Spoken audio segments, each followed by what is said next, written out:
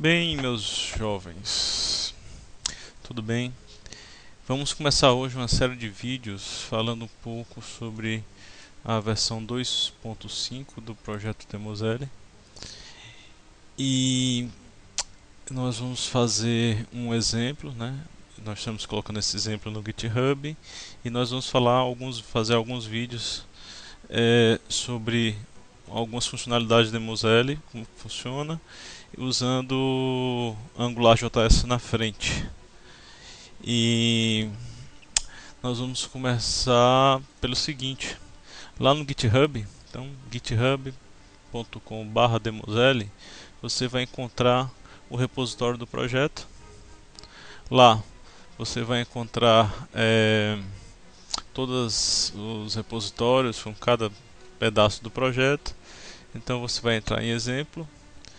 Nos exemplos você vai estar tá lá, vai ver lá o exemplo do estacionamento 251 com AngularJS. É, nessa página você pode ver e acompanhar o projeto com as atualizações no GitHub.io do projeto, que é demosl github.io example.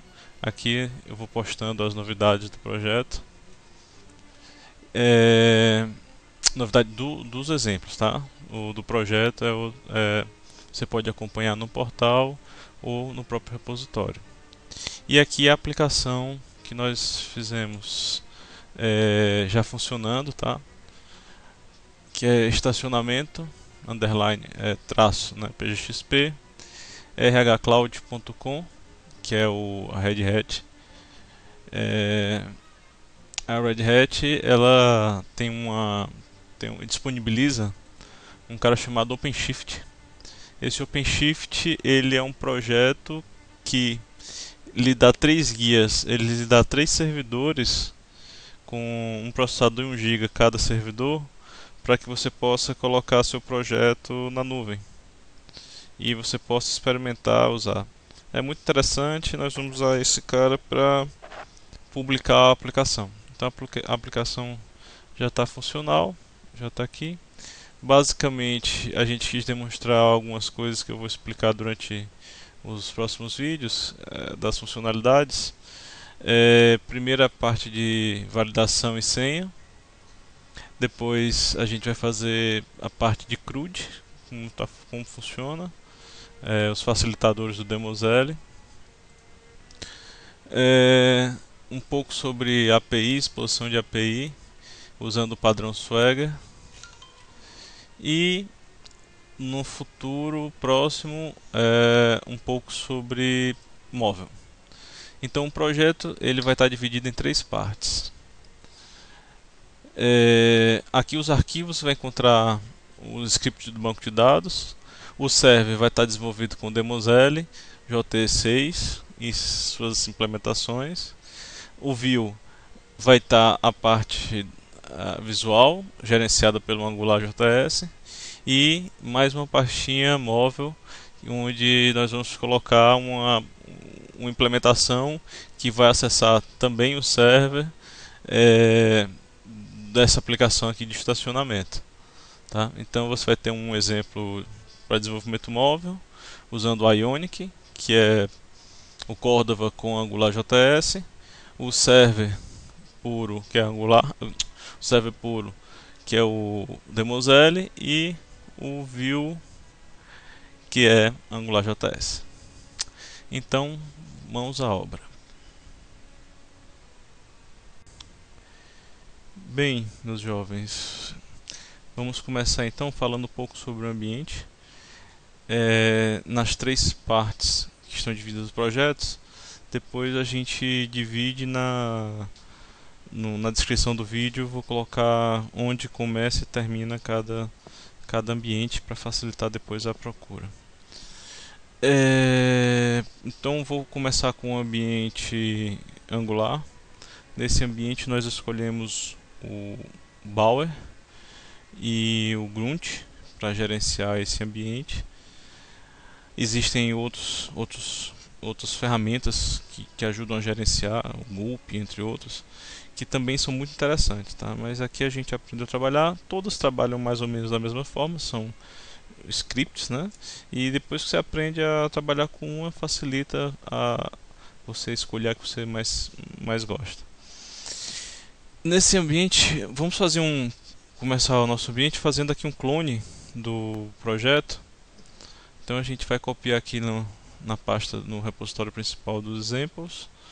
Copia lá o link do Git e a gente costuma usar uma ferramenta chamada Wake, que você cria um atalho em uma, das teclas F, no caso eu criei no F9, então facilita é, chamar a tela do, do terminal. Então eu entro aqui, eu vou criar aqui. É, vou criar aqui um, um repositório chamado curso. E nesse curso a gente vai dar um git clone no projeto e vamos começar com o ambiente exemplos estacionamento 251 view então essa pasta aqui é a pasta do, do projeto onde tem o, o Angular. Vamos dar uma olhadinha aqui no que, no que é que tem nesse projeto. É...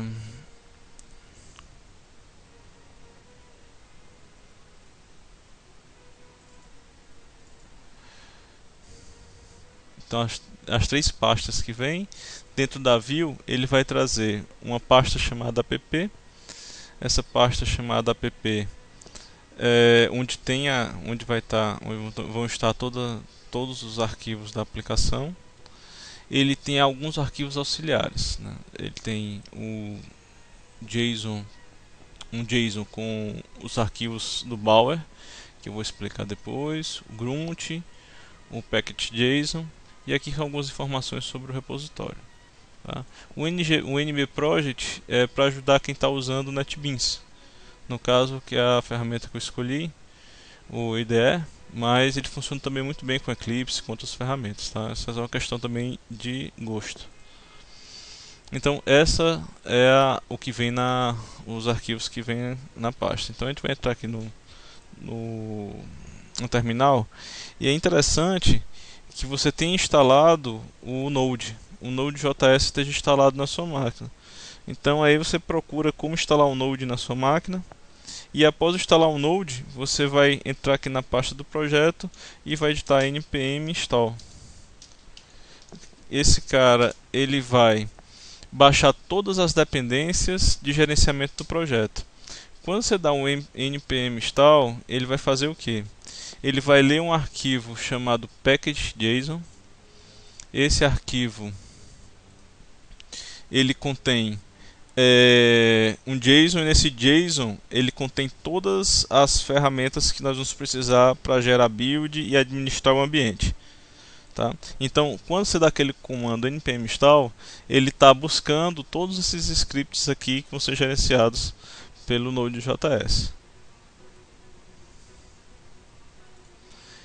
Essas informações elas estão contidas aqui na raiz do no, no projeto view ele tem algumas dicas de instalação do ambiente. Então, aqui você pode encontrar uma referência aqui para um, um, tutorial que ele ensina a instalar o Node.js no Ubuntu e um pouco sobre a configuração quando você fizer a pasta, exatamente o que a gente está fazendo. Eu dei o npm install e agora a seguir vou dar o bal install. Um, se você se você for a primeira vez que você for instalar o ambiente, você tem que fazer antes, você tem que instalar é, dar esse comando com sudo e esse comando com sudo, que é o npm install grunt e o bower, que são os dois gerenciadores. Toda vida que você usar o sudo, você coloca o menu g de global, tá? Não confundir sudo sem o menu g e nem o, o menu g sem o sudo, sempre usar juntos os dois e depois usar sem os dois, tá? Essa é uma dica interessante. E algumas pessoas têm um problema de acesso por conta de firewall ou alguma coisa do tipo. esse carinha aqui ajuda a melhorar o acesso de dentro de empresas para o Git. Então quem tiver com algum problema lá com firewall, tem esse cara aqui que pode ajudar. Vamos dar uma olhada aqui. Ele está buscando, instalando todos os componentes. É, na hora de editar o vídeo, se tiver algum, algum momento muito parado, eu vou dar uma editada para adiantar alguma coisa, para o vídeo não ficar muito cansativo. Então, vamos ver aqui se ele já faz é, realmente, é um processo demorado porque é muito arquivo, ele, ele verifica todos os arquivos e então realmente ele leva um certo tempo. Apesar de você ter uma banda e ser um, uma máquina já com desempenho interessante, ele realmente leva um certo tempo para montar esse ambiente. É, quem lembra do Java, ele lembra muito é, o Maven. Então o Grunt e o Bower eles vão servir meio que o que o Maven faz. Né? Ele faz um, meio um controle de dependência, ele vai fazer um deploy, ele vai fazer um build da aplicação. Ele tem mais ou menos essas, é, esses dois caras têm mais ou menos essa, essa utilidade do Maven. Depois que eu coloco o, M, o npm install, eu vou chamar o Bower install. O Bower é quem vai controlar as dependências entre os JavaScripts para que o, essa, é, é, é, esses arquivos venham, sejam validados, não, não, tenha, não sejam corrompidos, e ele traz todo o código-fonte que gerou aquele arquivo para pesquisa e melhoria de código. Então a gente vai lá dar um bawl install, o que é que esse bawl install vai fazer? Ele vai acessar esse arquivo aqui, que é o bower.json. O bower.json ele é muito parecido com o, o, o outro arquivo, o package.json. Mas o Bower ele traz as dependências, a, o, as dependências dos JavaScript da sua aplicação. Né? Então, para você montar a tela, para acontecer tudo na sua aplicação, ele já baixa e já faz as injeções necessárias de cada JavaScript dentro do teu index HTML. Então esse cara aqui, ele já vai estar gravado aqui e ele já baixa todas as dependências que você vai precisar usando o comando bawl install. Então, instalados os dois, para testar, você vai digitar alguns comandos. Então, basicamente, nós vamos trabalhar com dois comandos: o grunt serve e o grunt build, tá? O que é que esses dois caras vão fazer? O grunt serve, ele vai levantar um microservidor de web e esse esse servidor web ele fica observando tudo que você faz na pasta app. Então se você muda o nome de um arquivo, você muda o conteúdo no JavaScript, tudo que você faz e salva, automaticamente ele faz o redeploy da sua aplicação. Então ajuda você está programando, você faz uma alteração, salvou seu JavaScript, ele já automaticamente atualiza a sua tela. Quem, e isso é muito interessante quem trabalha também com dois monitores. Enquanto você está programando no monitor, salvando, automaticamente está carregando sua aplicação no monitor ao lado, você vai vendo o que está sendo apl aplicando. Então até mesmo para debugar se torna bem mais rápido com esse cara. E o build, ele vai pegar a tua aplicação que está dentro da pasta app, vai fazer uma série de, de, de melhorias, de ajustes, de otimizações nesse teu, todos os teus arquivos e vai colocar numa pasta chamada dist. Essa pasta dist é a pasta de distribuição, é aquela pasta que você vai ou colocar é, é o conteúdo dessa pasta num servidor Apache, ou você compacta ela com zip, renomeia para pontuar, joga num servidor JBoss. Você vai fazer o deploy da sua, da sua aplicação com ela. Não necessariamente o, os arquivos do Angular JS tem que ficar no mesmo servidor de REST, tá? O ideal é que eles sejam servidores separados. O servidor onde vai disponibilizar os arquivos é um servidor tem que ser extremamente simples e rápido, porque ele só vai ler arquivo. Ele vai entregar para o browser apenas, ele não tem nenhum processamento. Por quê? Porque toda aplicação vai rodar no browser. E quando o Angular e a aplicação estiver rodando no browser, ele que vai acessar via REST e trazer os JSONs que estão no servidor de onde está o servidor lá feito em Demoselle. Então, essa interação que vai trazer esse, esse JSON que vai ser compilado e guardado no, no REST, no, no, no browser. Então, não necessariamente se vai mais, você vai mais, você vai novamente aonde estão seus arquivos. Então, se você for controlar a banda, você coloca um servidor Apache com banda pequena para colocar e um servidor realmente mais possante, com mais processamento, para rodar lá onde está o seu Angular e seu banco de dados. O, o, o servidor JTE com Demoselle e seu banco de dados. Esses servidores realmente têm que ser bem mais, mais pesados. E o servidor e o servidor que fica na frente vai ser apenas um vai apenas te entregar um HTML. Né? O interessante é que nós fizemos alguns testes, depois a gente pode deixar até o link e publicar alguma coisa. A comparação JSF e comparado com esse padrão REST HTML5. Né? A gente teve resultados excepcionais. Enquanto o REST, o REST ele conseguia tipo 2000 é, basicamente 2000 requests por segundo, o JSF tinha 150 140. Por quê? Porque o, esse paradigma ele tira toda a responsabilidade do servidor de renderizar, de processar e passa para o browser.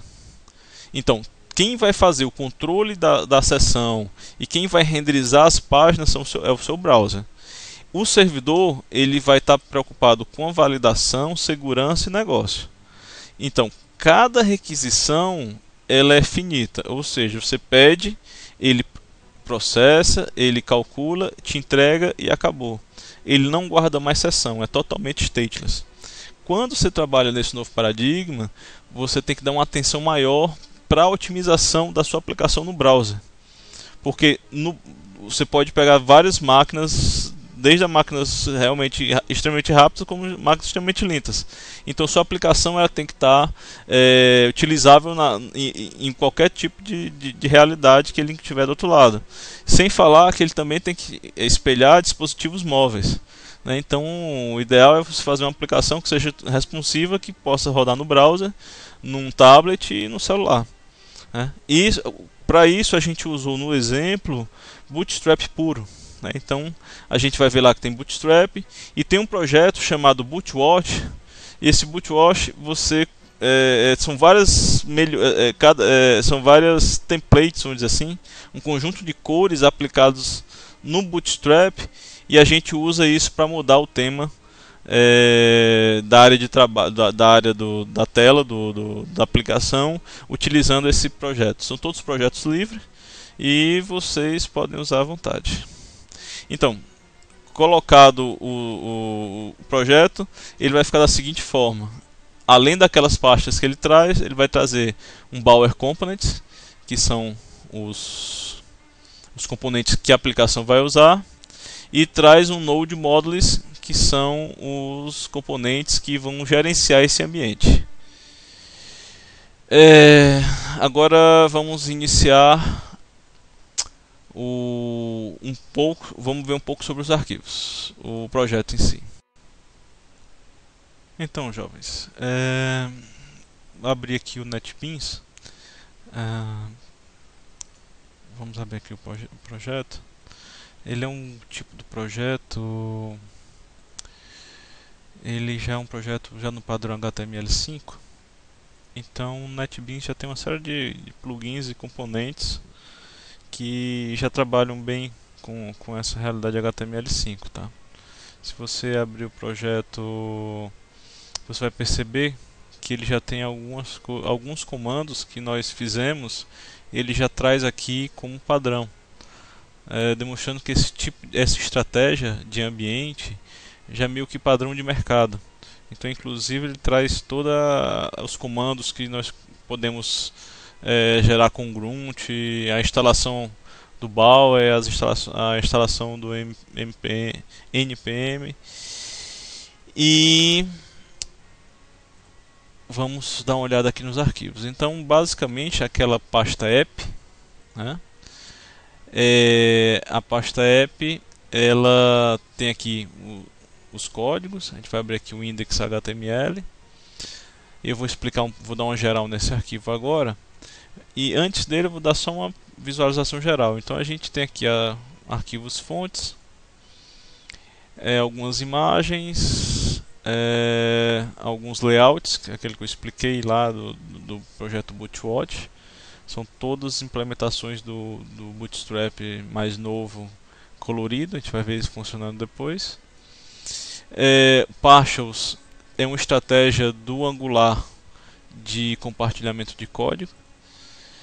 É, scripts onde vão ficar as fontes do, do projeto, né? Então ela é dividido em eu dividi em quatro partes, que é meio que uma boas práticas do sugerida em muitos locais da internet e muitos, muitas pessoas que já trabalham com o projeto eles sugerem dividir dessa forma. Né? É, os controllers são responsáveis por manter o ambiente e manter as informações na tela e trabalhar com esse, essa interação da tela. Os services ele é, são os JavaScripts responsáveis por trabalhar com a mandar e receber os dados com o servidor, a interface com o servidor. E aí tem mais duas pastinhas. Tem as diretivas. As diretivas são alguns códigos, que depois a gente vai entrar em alguns, que são como se fossem funções. E os filtros é, que vão ajudar a gente fazer aplicar certos filtros em alguns pontos da, da, da aplicação. Né? Depois a gente dá uma olhada. E o I18N para fazer a internacionalização também interessante esse cara aqui. É, dentro, tirando essas a parte de scripts, é, tem a style, que aí tem um, você pode colocar o seu seu próprio CSS, né, complementar do do lá do Bootstrap. E aí você pode ter um complementar com algum alguma coisinha aqui no seu próprio CSS.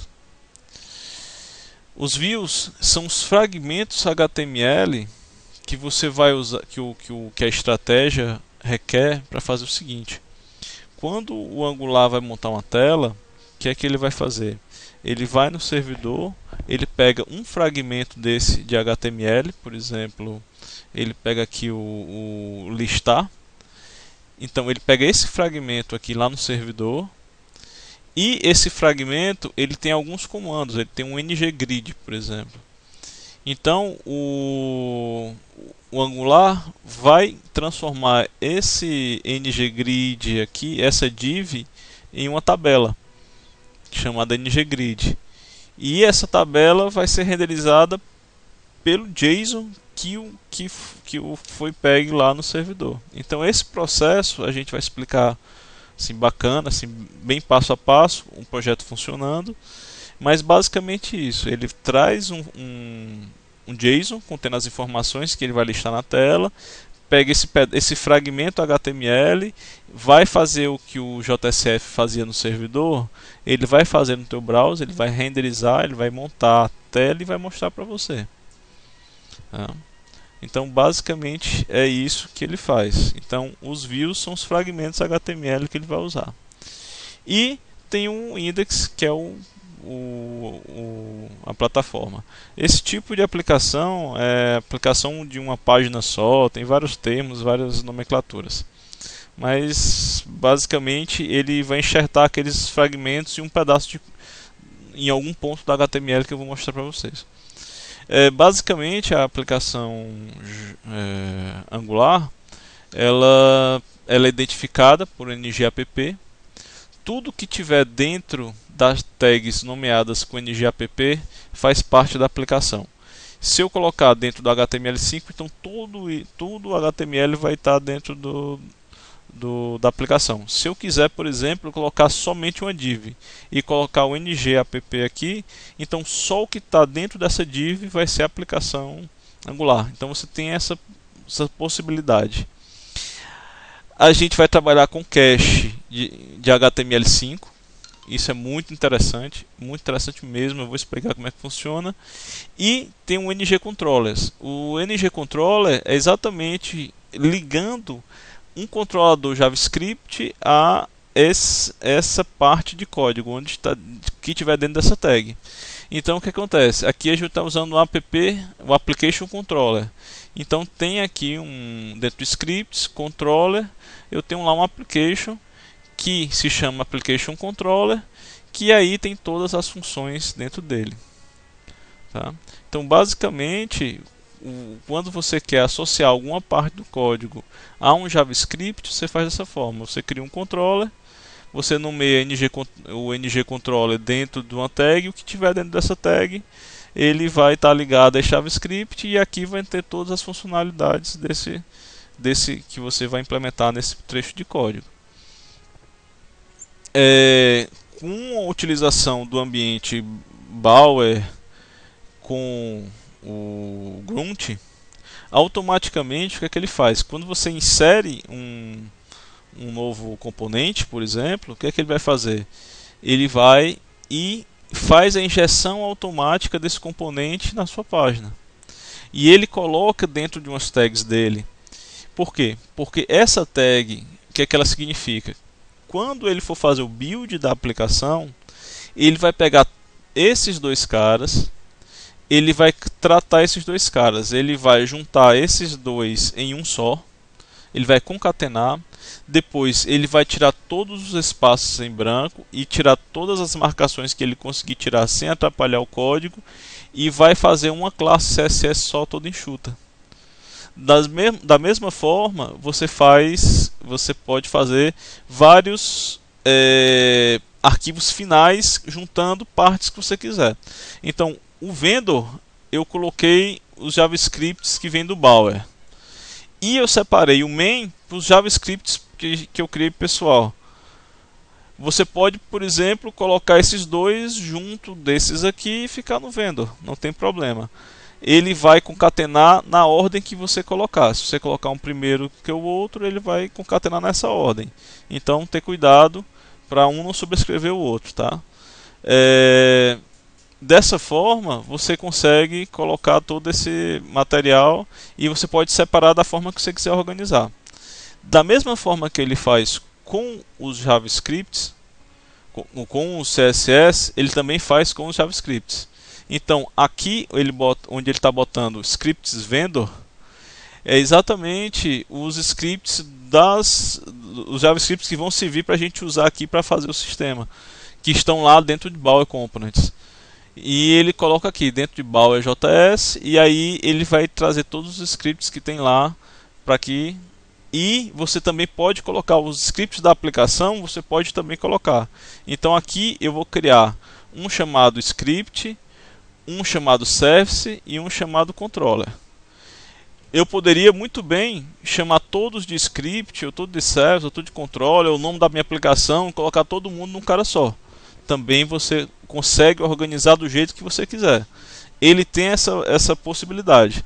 Tá? Nós preferimos colocar ele separado, tá?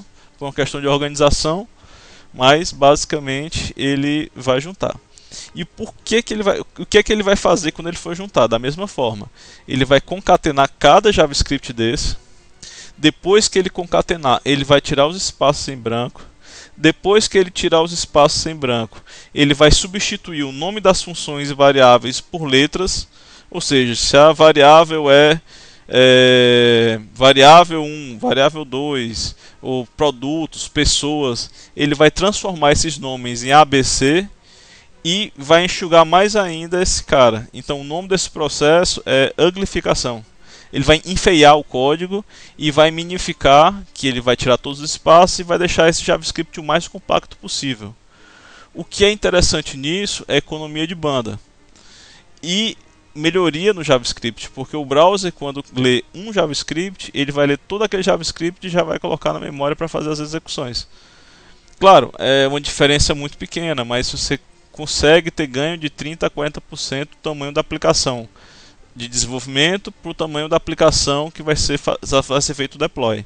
Se você consegue 40% menos, é uma economia de banda incrível. Se você tem milhares de acessos e se você tem que pagar por essa banda, se você tem essa redução, é uma coisa muito, muito satisfatória para qualquer tipo de projeto. Então, além do padrão HTML5 REST, ele deixar o servidor mais barato, você conseguir botar muito mais gente pendurada no servidor com menos processamento, menos memória e agora muito menos banda. E se você ainda aplicar essas otimizações na sua aplica na, na, na sua na, no seu deploy de view, essa se conseguir diminuir isso, ainda conseguir economizar banda, então é melhor para o seu projeto. Então, basicamente é isso. É uma visão geral só sobre o, o projeto e eu vou executar aqui a aplicação. Para executar a aplicação, você vai digitar grunt serve sem o R, só o serve. E aí ele vai fazer, ele vai limpar o repositório, vai levantar e automaticamente ele vai levantar dentro da, de um servidor é, na porta 9000, um server, e vai rodar o watch, que é exatamente aquele carinha que vai ficar observando tua pasta e tudo que você modificar. Você abrindo seu browser padrão, ele já vai estar tá aqui compilado. Se você, é claro que você não vai estar tá conseguindo usar por conta dele não estar tá conectando. Então, é, é, vamos, vou partir agora para levantar o ambiente de JT6 para a gente dar uma olhada como é que vai ficar e depois a gente retorna as funcionalidades acontecendo entre si. Ou a gente é melhor. Melhor. Então eu vou parar aqui e a gente retorna com o ambiente JT6 Demoselle. Então, jovens, é, temos aqui o servidor HTML5 e agora vamos importar o projeto o server que é feito em Demoselle com a versão 2.5 tá? então está na pastinha server e nós vamos importá-lo aqui o, como é que ele está tá dividido tá? as pastas que contém esse projeto ele contém o seguinte uma pasta chamada src source e o pom que é quem já trabalha com Java 6 e Java e sabe que o POM é o gerenciador da aplicação, então ele tem as dependências, tem como fazer o deploy, tem mais algumas coisas. E o SRC onde estão todos os arquivos da aplicação, que são as fontes da aplicação. Existem dois caras aqui a mais. Esse NB configuration, que é para abrir o código para ajudar as configurações do NetBeans. E aqui o deployments é uma pastinha necessária para se trabalhar com o é, com o OpenShift, tá? É, eu vou, vou abrir aqui o OpenShift para a gente dar uma olhada como ele é interessante. É, você vai lá, se cadastra no OpenShift, valida todo aquele processo e você vai cair nessa tela onde você vai criar sua aplicação. Então ele cria aqui sua primeira aplicação e ele vai disponibilizar uma tela para você contendo vários cartuchos. O que são esses cartuchos? É basicamente é um servidor já montado com toda a infraestrutura do tipo que você quiser. Então a gente vai abrir aqui um, J, um Java JT6, né? A gente vai trabalhar com é, JBoss Application Server, a versão 7. Esse cara aqui nós vamos chamar de estacionamento. É o mesmo processo lá que nós estamos usando. A diferença é que eu usei lá no meu no meu OpenShift, que é PGXP. Aqui a gente vai usar o do Demoselle, FWK Demoselle rhcloud.com e você vai, tem uma série de opções, quem quiser se aprofundar, mas basicamente você cria uma aplicação. Nesse momento, ele está criando um, uma instância de um servidor é, Linux e dentro desse servidor com um, um servidor de JBoss já lá todo configurado e o servidor ele interage com as variáveis de ambiente desse, desse servidor. É, depois eu vou apagar esse servidor, claro, mas é, o interessante é a maneira que ele funciona. Ele funciona baseado em Git. Depois que você cria o servidor, você dá um git clone nesse cara e tudo que você salva dentro desse desse clone, quando você dá um push, ele envia para esse seu servidor e lá ele faz o deploy lá no dentro dentro do, desse desse gear, né? Dentro desse desse dessa instância na nuvem e essa instância, depois que ele faz o deploy, ele vai e funciona lá o seu servidor. É bem interessante o modo que ele funciona e super interativo. Então você pode, como você tem direito a três guias, ou seja, ele vem aqui, então já tem aqui um guia estacionamento. E se você quiser acessá-lo, você já vem, carrega lá é, o guia estacionamento, ele vai e você consegue acessar ele a sua aplicação que está lá dentro do, do estacionamento. No caso, ele vai trazer uma aplicação padrão, estacionamento, framework Demoselle. E aí, basicamente, ele tem algumas informações aqui sobre como modificar o projeto. E está aqui, estacionamento, fwkdemoselle.com.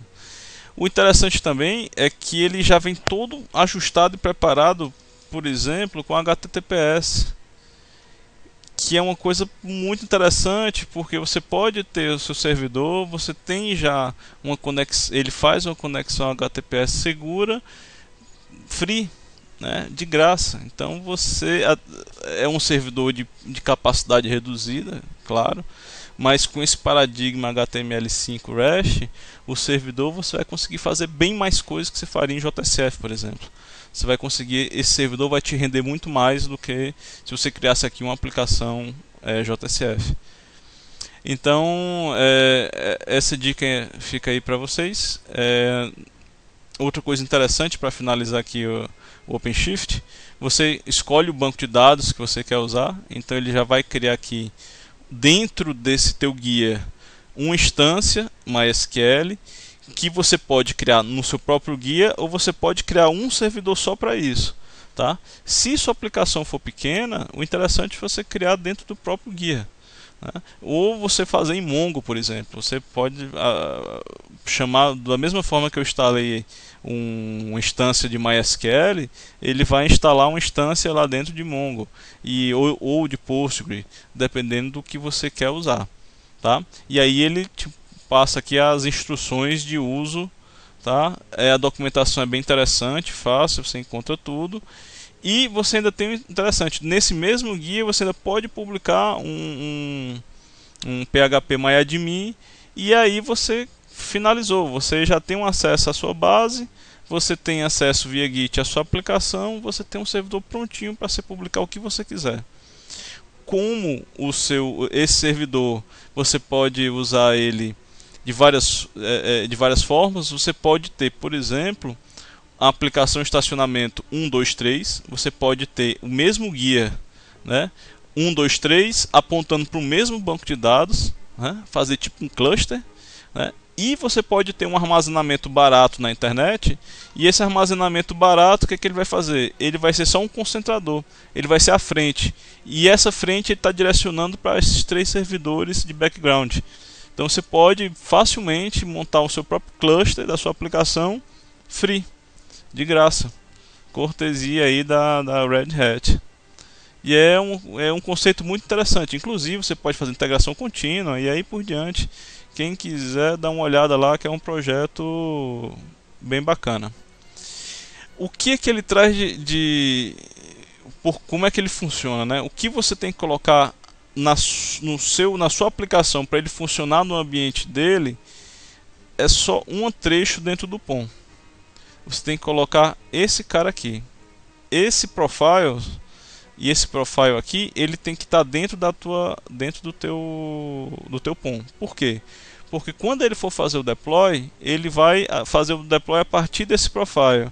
E esse profile, ele vai lá e vai criar com essas informações o teu deploy que vai fazer o deploy daquela página, tá?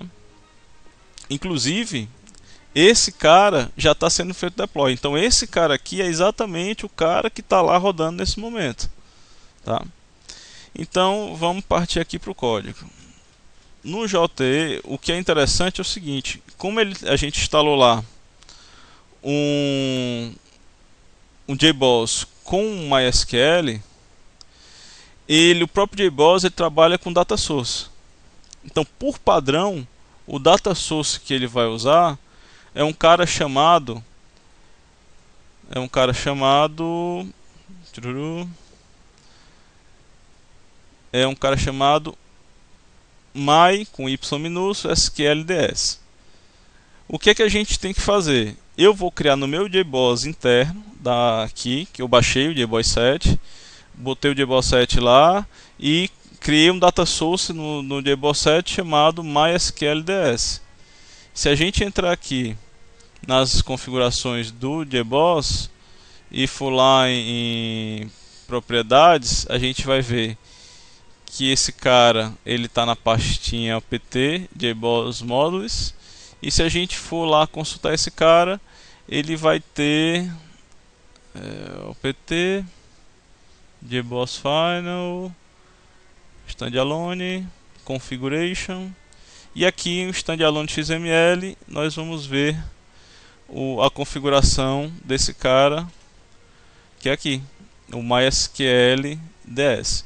Tá? Sugiro que quem quiser é, ver como configura o data source dentro do, do, do JBoss para funcionar dentro desse padrão, é só ver, tem vários sites aí que fazem tutoriais, é muito simples, você cria um módulo, depois configura aqui o, standalone.xml e automaticamente o, ele vai pedir ao JBoss os dados.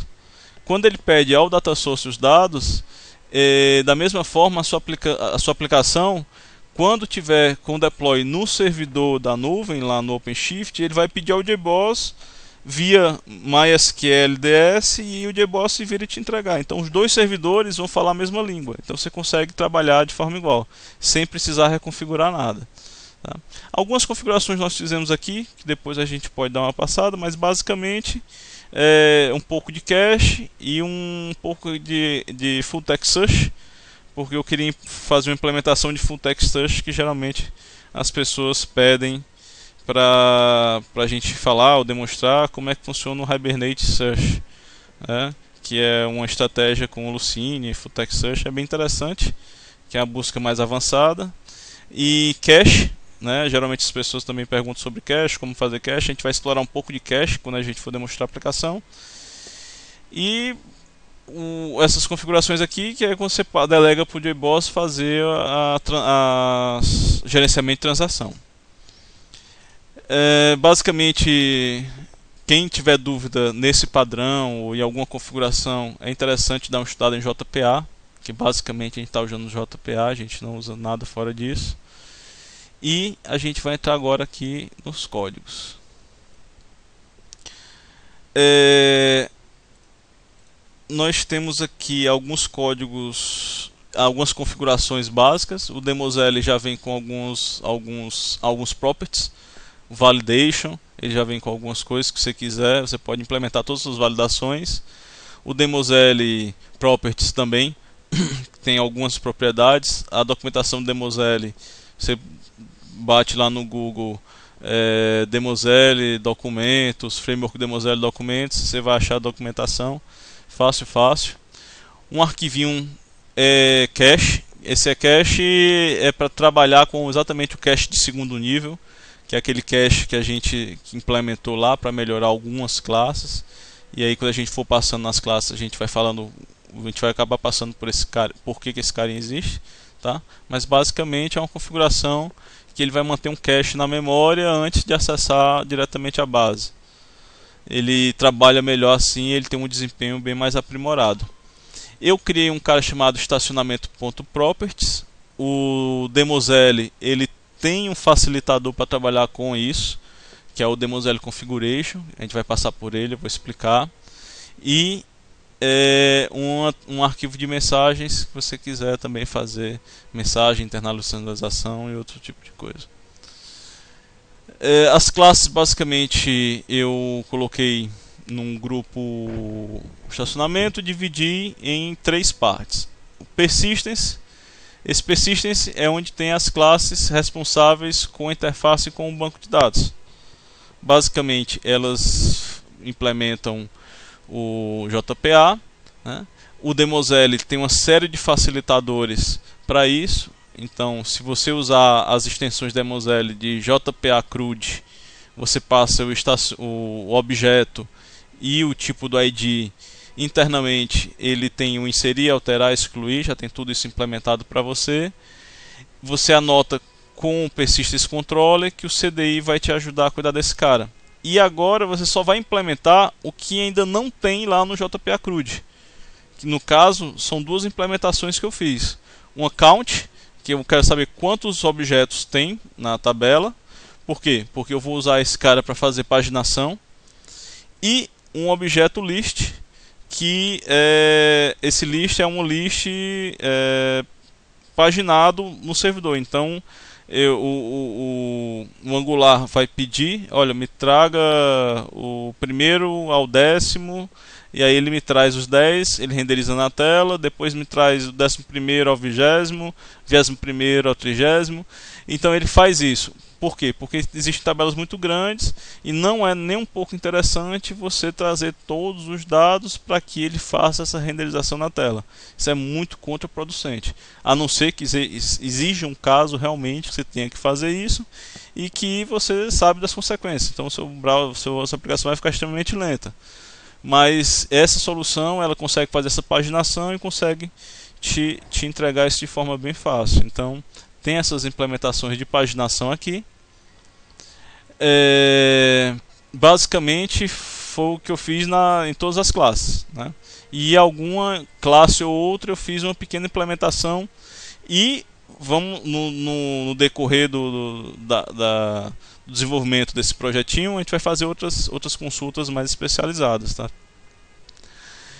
O DAO ele ele é, ele é sucedido por outra camada, que é a business. A camada business, ela tem basicamente a regra de negócio. Então, se eu quiser implantar alguma regra de negócio, esse aqui seria o local interessante. Como não tem nenhuma regra de negócio ainda, eu só faço dar um bypass lá no DAO. Então, o, o service ele vai acessar, por exemplo, o fabricante REST. Eu vou ter aqui o, um, um listar, por exemplo, find all esse find all, o que, é que ele vai fazer? Ele vai trazer todos os dados, por exemplo. Então eu vou, peço ele ao DAO, o DAO que é o, DAO respectivo do fabricante, que é esse cara. O find all já está implementado internamente pelo delegate CRUD. Esse delegate CRUD pede ao, ao DAO e o DAO vai lá, traz todos os objetos e eu encaminho para lá. Eu não precisei colocar nenhum, nenhuma regra de dados, ele já funciona diretamente. Eu posso aqui interceptar botar um override é, find all e aí nesse override find all eu coloco a regra de negócio que eu quiser e aí sim ele passaria por ele, resolveria e aí sim ia para a próxima camada que é a camada service, que é a camada que vai estar ligada diretamente lá com a resposta. O ideal é que você bote sua regra de negócio realmente aqui, o, o service seja você tratar somente de serviço em si e no persistence da, da interação com o banco. Né? Se você separar isso bem, no momento de manter, realmente são três classes para você fazer uma coisa simples, né? Mas essas três classes, essas três camadas vão te ajudar a uma organização no código, principalmente quando a aplicação vai ficando muito grande, tá? Então ele vai te ajudando nesse aspecto. É, então vamos lá. Depois que a gente viu a parte de crude básica, é, aqui ele vai ter os entes, né? São as representações dos objetos de banco é, aqui. Então ele vai ter aqui user, vai ter veículo, vai ter fabricante, por exemplo. A gente começou com fabricante. Então, é, basicamente ele está usando lá o JPA. Lembram lá que eu falei do cache? Se você anotar a classe que você anotar cacheable essa classe automaticamente vai estar cacheada em cache de segundo nível, né? Então, geralmente você coloca cache de segundo nível naqueles, naqueles objetos que você vai ter muito mais leitura do que realmente gravação. Então, isso vai te dar uma performance melhor. É... E assim por diante. Quem tiver alguma dúvida também, JPA seria interessante você ver um pouco, um pouco JPA para você entender o que é que cada uma que não se deixe nesse vídeo, mas cada uma uma estratégia dessa tem um porquê. É, eu criei uma classe, um, uma estratégia chamada cover. O que é o cover? O cover são classes que eles vão encapsular alguma coisa que você quer mandar para o banco e você quer, por exemplo, um caso aqui é o usuário, né? Então eu quero mandar o usuário, mas eu não quero mandar a senha, eu não quero mandar alguns dados do usuário. Então eu implementei um user cover e esse user cover ele pega alguns dados que eu quero que sejam representados e esse dado vai e volta para o servidor, né? Protegendo o que realmente o usuário precisa ter. Então, esse cover é uma, uma das estratégias que você pode usar para fazer isso. É, e assim por diante. Você pode ter uma série de covers do mesmo objeto para você mandar coisas diferentes. Isso é uma realidade muito interessante porque os objetos, com o tempo os objetos tendem a crescer e ficar complexos. E aí você, toda vida que for mandar e trazer um objeto do para transação, para até mesmo para envia JSON, então esse objeto vai crescendo e vai ter dados desnecessários, né? Esse é uma maneira de você realmente mandar e trazer o que você está precisando. Então é um processo também de otimização. Então essa estratégia de cover. E vamos começar aqui o segurança. Então o, a segurança você nós implementamos o Demosel tem, tem uma série de facilitadores e dessa, desses facilitadores o segurança é um dos, dos mais bem implementados e mais eficientes. É, o que é o, o que é o qual é o interessante desse cara? Ele já implementou toda a parte de validação ele já pega os, o, o request já faz validação já pega token já resolve tudo para você. O que você tem que fazer é implementar esses três carinhas aqui ó no caso, tem mais uma implementação assim. No próximo vídeo vou colocar mais uma implementação que tem aqui. É, você vai ter implementação do, do SGDB. Você vai lá, você faz, você implementa o Authenticate. E nesse Authenticate você coloca, você busca o token e daí por diante. Eu vou lá na frente, eu vou ter um, eu vou falar o passo a passo quando estiver funcionando, que é melhor porque fica mais fácil a gente visualizar do que eu explicar agora e ter que falar depois. Mas basicamente está aqui a segurança e os services são aqueles arquivos que são representados cada são cada serviço dentro deles. É, vamos continuar aqui com o fabricante. Ele vai ter um tipo de serviço. Basicamente, quando você trabalha com, com REST, é, você usa a JSR 133, se eu não me engano, 233, alguma coisa assim. Essa JSR, você. Deixa eu ver logo aqui.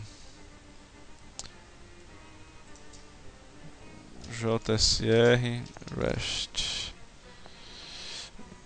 311. Nossa.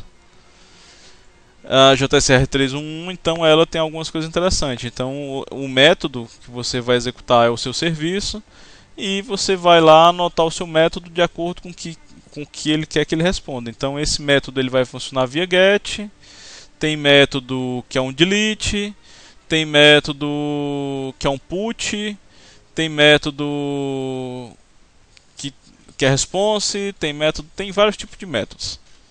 É, basicamente são os quatro, as quatro operações que estão lá no, na especificação do HTML, que é o get, put, o post e o delete.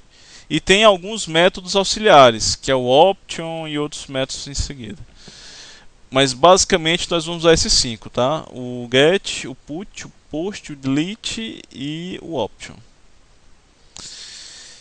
É, depois que você anota um método lá como get, por exemplo, a gente tem algumas outras anotações. Nós temos uma anotação que é um parâmetro que você vai passar na URL e esse parâmetro é lido, ou seja, quando a publicação for para o ar, ela vai estar no URL e você vai dizer o seguinte: é, a, a sua aplicação barra API, tudo que tiver dentro de API. Por quê? Porque, por que, é API? Porque você definiu como um application path sendo API. Então, o próprio sistema já captura e já sabe, API é o que está aqui dentro. O que está em API, ele já vai entender é, da, é, já vai pegar tudo que tem dentro de API é, é serviço.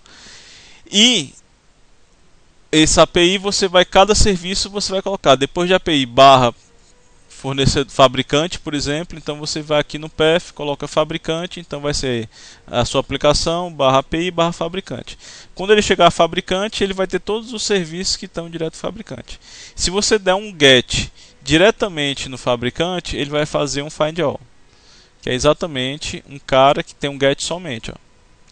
Um cara que tem get e mais algum parâmetro, por exemplo, get e você passar, por exemplo, um ID.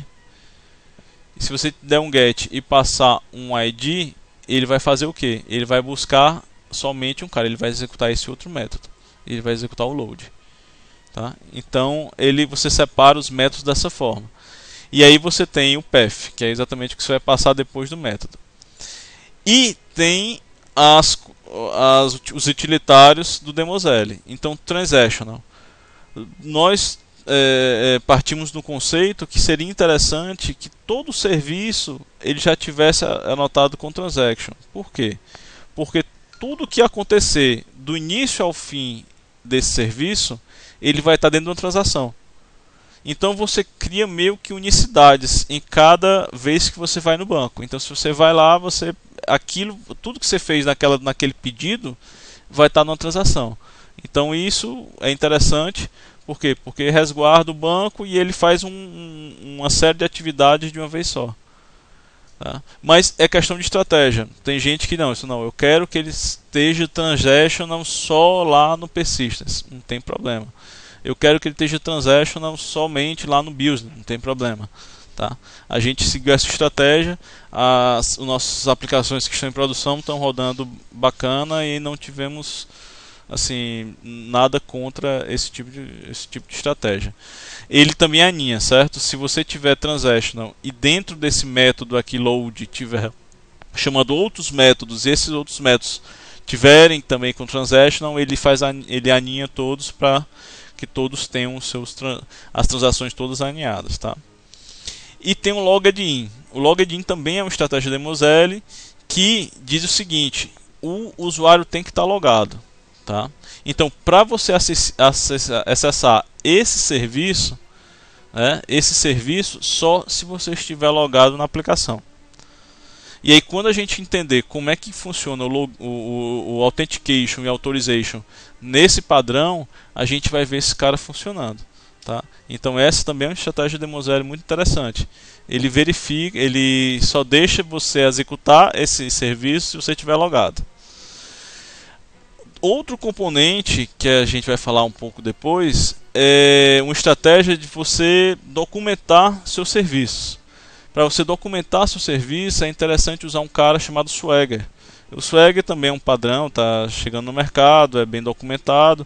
E esse Swagger ele traz uma porção de anotações que você faz na sua aplicação, no seu serviço, e depois o Swagger a, a, você consegue acessar essa documentação e ver é, todo descrito todos os passos que tem lá na, na, nos seus serviços que tem lá na sua aplicação. Isso é interessantíssimo, já que o REST não tem não tem WSDL nem algo do tipo. Esse cara veio bem vem vem bem a calhar e ele é todo programático, então depois que você programa nos seus métodos, ele funciona bacana. Não precisa você ficar refazendo nem XML, nem outra coisa do outro tipo. Tá? Ele funciona em JSON, ele funciona é, IML também, YML, né? outro, outro formato também já bem difundido aí no mercado. É, tem mais um cara de segurança da Moselle que também é interessante. Esse cara aqui é, tem um cara chamado ah, Authorized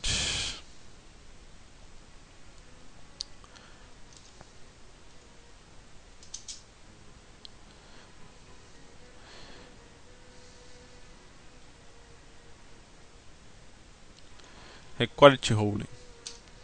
Esse Required Role, você passa para ele qual o qual a o perfil que o cara tem para acessar esse cara.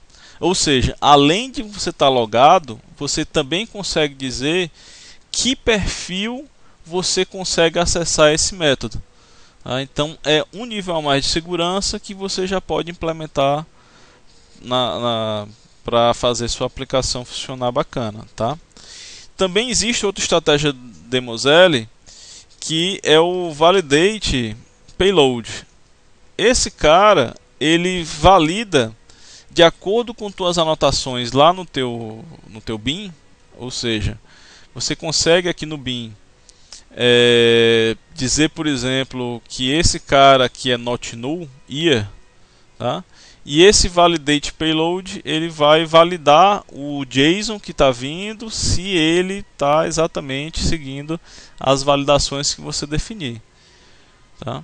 Então o validation payload ele vai fazer isso. Então você pode também estar tá atribuindo nas suas classes o validate payload que ele vai também te ajudar nesse trabalho tá? de validação, de erro, você pode configurar e tudo mais. São muitas estratégias, são muitos facilitadores e a gente usou alguns e, e o ideal é que no futuro a gente consiga implementar um pouco de cada um em cada ponto e se vir para vocês colocarem nas suas aplicações. Tá? Então lá na frente a gente pode ter um tempo para explicar o Transactional mais a fundo, o login, ou então cada um que quer usar, vai se especializar, vai entender como funciona, acessa a documentação e aí vai vendo como é que funciona. Então, basicamente, de serviço é isso, tá? É, o JT6, o uso do ELD aqui a gente usa intensamente, então tudo a gente faz lá por injeção, porque o ELD vai gerenciar esse cara para a gente, a gente não precisa gerenciar. Todo e qualquer classe que nós usamos, elas são todas anotadas para serem usadas com esco é, escopo de sessão.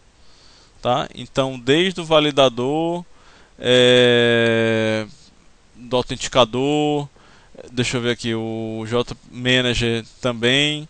Então, sempre todas, tudo que a gente usa, elas são criadas para aquela, para aquele request, né? Sessão não, desculpa ligado, são criadas para aquele request, o request acontece e elas são, são dispensadas. Então também o, servidor se torna até um pouco mais ágil por isso, por quê? Porque ele usa somente ele usa tudo tudo, não mantém sessão, não precisa manter cadeia de, de, de arquivos, cadeia de memória, ele não precisa manter isso vivo para cada usuário logado na aplicação. Ele chega, cria, resolve e acaba. Então isso deixa ele muito mais performático. É... Então depois a gente volta aqui na parte de segurança. E por final tem umas classes, uma classe útil aqui, que depois a gente vai dar uma olhada, a gente vai trabalhar com MD5. E por final aquela estratégia que eu falei lá no começo, que é o configuration no caso, você pega uma classe, você anota ela como configuration e dá o nome dela, dá o nome do resource. Estacionamento. Automaticamente você cria um resource é, na sua aplicação chamado estacionamento properties com esse mesmo nome. Né? Estacionamento, você cria um estacionamento properties. Né? E aí, nessa classe, você vai lá e anota o, o a, as, os parâmetros que tem lá. Então lá eu tenho o mail, mail user, eu tenho um JWT key, minutes, issuer, audience. E aí o que é que faz? Ele vai lá, lê esses caras e já injeta nesse objeto para você usar onde, em qualquer ponto da sua aplicação. Ele é, o, o configuration ele é static scoped, ou seja, depois que ele inicia a aplicação, ele lê lá e já mantém na memória. Então ele resolve isso bem. E aqui no, no estacionamento properties, você vai lá e coloca o que você quer colocar e automaticamente ele lê e levanta na memória. Então esse é um overview aí sobre a, aplicação, onde estão as classes, como é que funciona e a gente no, nos próximos vídeos nós vamos ver aí funcionando e podemos entrar em detalhe em alguns pontos. E para finalizar, a gente vai fazer o seguinte: é, eu vou iniciar mais um pedaço do vídeo para a gente iniciar essa segunda parte funcionando as duas, os dois pedaços. Jovens, e para finalizar essa primeira parte, para iniciarmos realmente mexer com código, ver tudo acontecendo, é necessário que você entre lá no seu gerenciador de banco de dados.